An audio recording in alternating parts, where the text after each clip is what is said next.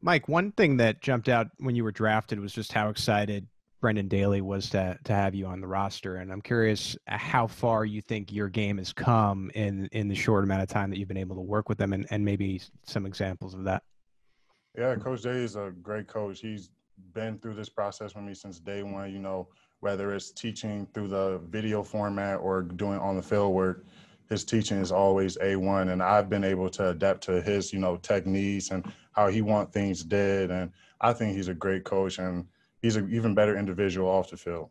So I got a lot of love, a lot of respect for him already. And I only been out here for like, what, about a month. So let's go next to Herbie. Go ahead, Herbie.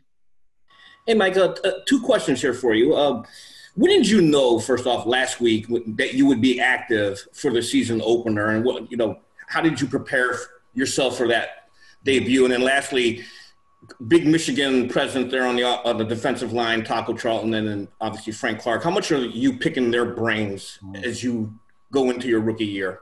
Well, for the first question, all I really did was just practice every day, come ready to practice every single day. You know, uh, do what I was supposed to do, and you know, prepare the way I should have. You know, uh, I knew it was like the first week of the season, the season opener, and it was real big and highly anticipated. But you know, uh, I just came in, did what I had to do, and do what I was asked to do.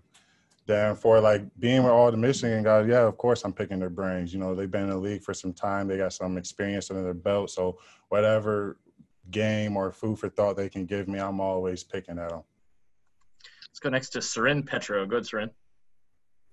Uh, Mike, how would you describe your game? Like, if you were to talk about, because uh, you know you've kind of played a lot of positions, right? Back in college, they've used the inside, outside. Uh, if you were to describe your, your game, how would you describe it? I would describe it as a versatile, physical um, football player. You know, um, I've lined up outside, inside, did some stand up, drop back. So you know, I'm all over the place in the front seven. So you know, uh, I say first things first. I'm I want to be physical then you know uh, got a little finesse to me. So don't fall asleep on that. Let's go next to Matt Derrick. Go ahead, Matt.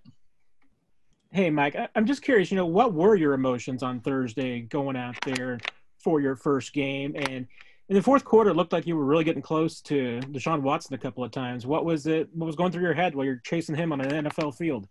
Uh, I was locked in. You know, I wasn't uh, too nervous or you know too uh, uh, worried about what my responsibility was. I knew how I prepared. I knew how serious this was, and I knew that this was a platform where, you know, um, the margin for error is really slim. So, you know, I wanted to be out there, do what I had to do, and you know, uh, when my number was called, I wanted to give coach and my teammates everything I had on the field. Looks like we've got one more hand up. Let's go to Matt McMullen to finish us off. Go ahead, Matt. Hey, Mike. So when you were first drafted, what you talked about was when you um, transferred from Central Michigan to Michigan, it helped. You wanted to feel like what that the bigger uh, step was. It would help your progression and get to the NFL. Did you feel like that helped you when you were out in the field on on, on Thursday night? You uh, you feel like that jump helped you with the speed of the game at all?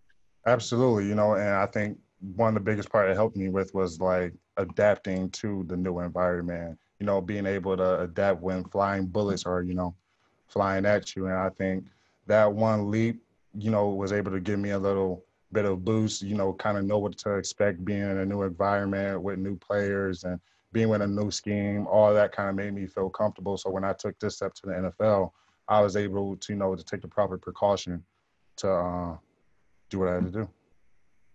Mike, we really appreciate your time today. Thanks for joining us. Thanks for having me, guys. Take it easy.